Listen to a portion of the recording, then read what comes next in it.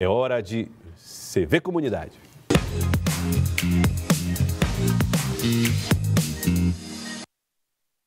Laércio, você achava que o pingo do meio-dia era que era o dia mais Por não é, rapaz. Depois que eu vi que acumulando de meio-dia até três horas, né? É. Aquele vaporzão, nossa senhora.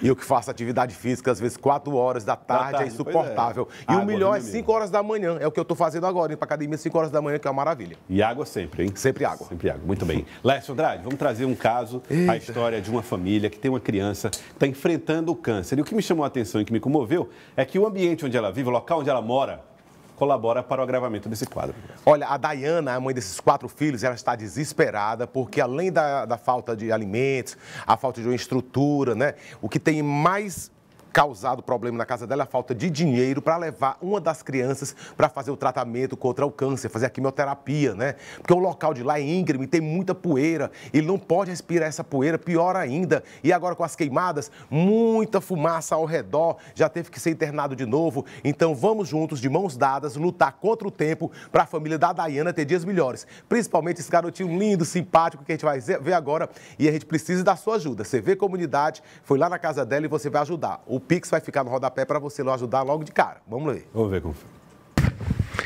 Rapaz, eu vim aqui através do CV Comunidade, no bairro Sete Ladeiras, mas a gente sobe aqui, minha gente, por da Alameda do Sabiás, e é muito complicado chegar aqui, né?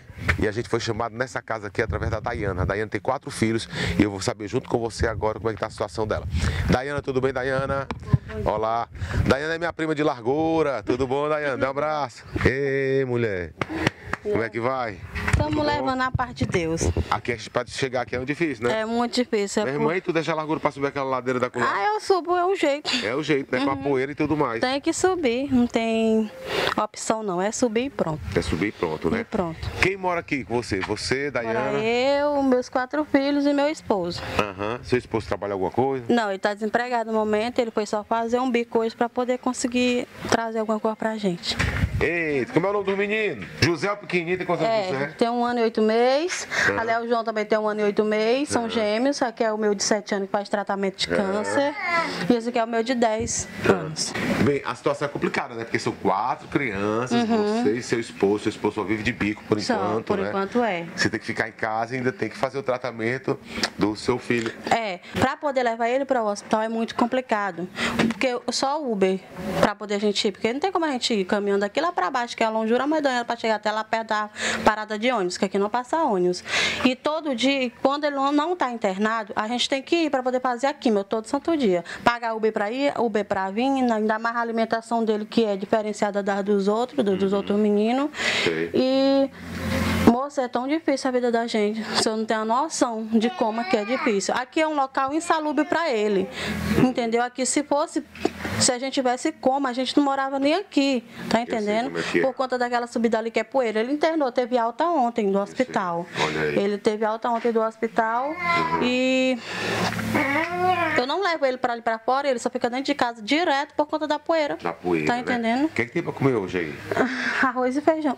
Nossa senhora, para todo é, mundo. Para nós. E tem dia que chega e não tem nada? Tem, tem já chegou. É, já né? chegou o dia. Aí a minha irmã foi e me deu esse pedacinho de porco agora. Hoje vai ter a mistura. Vai, é isso aqui. Eita, essa mistura é um pedacinho de costela. É. Quem vai comer essa costelinha aí? Todo Só mundo? eu e os outros, os outros, porque não pode comer carne de porco, ele vai comer ovo. Aí ele come um ovo. Come um né? ovozinho estraladozinho, ele come arroz com feijão, mas não reclama. Que pode ter o arroz e o feijão, mas a gente não reclama, tá entendendo? Aí, o por... que é que precisa assim, para as pessoas poderem ajudar vocês? A gente está precisando mais, é, Laércio, é da ajuda financeira por conta de de levar ele para o hospital, né? E não é todo dia eu não tenho. A gente só vive aqui só do benefício dele, que só é 700 reais agora, porque eu fiz um empréstimo para fazer essa casa, que a gente morava numa casa de taipa e caiu. Aí foi liberado para você o empréstimo, eu fiz. Aí construímos essa casa. No momento a gente só está vivendo mesmo só do, desse dinheiro dele. Tá entendendo? Aí, moço, aqui, para poder deslocar daqui para o hospital é tão difícil. Teve um dia que ele desmaiou aqui dentro de casa.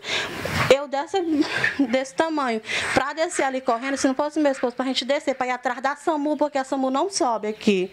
Aí nós fomos descendo para poder ir atrás da SAMU, para poder a SAMU pegar ele e levar ele para o hospital, que é muito difícil. Então o transporte é o mais complicado. É o mais aqui. complicado aqui pra gente, é o transporte. E quando ele todo tá tratamento, fazendo todo né? o tratamento no hospital, ele, ele faz a quimioterapia, né? Mas a alimentação precisa. A alimentação precisa também tem. Leite, biscoito, isso, massas. isso, e também tem o antibiótico. Quando ele está em casa, que a doutora passa também algum antibiótico para a gente poder comprar para eles. Tem algum medicamento também que a doutora passa Uhum. que o, o São Marcos não dá, porque o São Marcos em si ele dá o remédio da quimioterapia e químio, né? Mas quando ele está internado, ele faz uso do antibiótico de lá. Mas quando ele está em casa, que precisa fazer o uso em casa, a gente é que tem que comprar.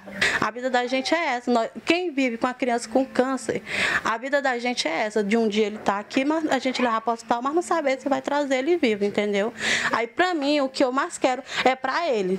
Eu não quero ter nada pra mim, eu não quero luxo pra mim, eu quero só ter condição de poder, na hora que precisar, eu ter pra poder fazer pra eles, tá entendendo? Valeu, vamos então dar as mãos e ajudar no CV Comunidade, tá bom? Muito Valeu, obrigada. filho. Eita, um abraço de primo, bem gordinha.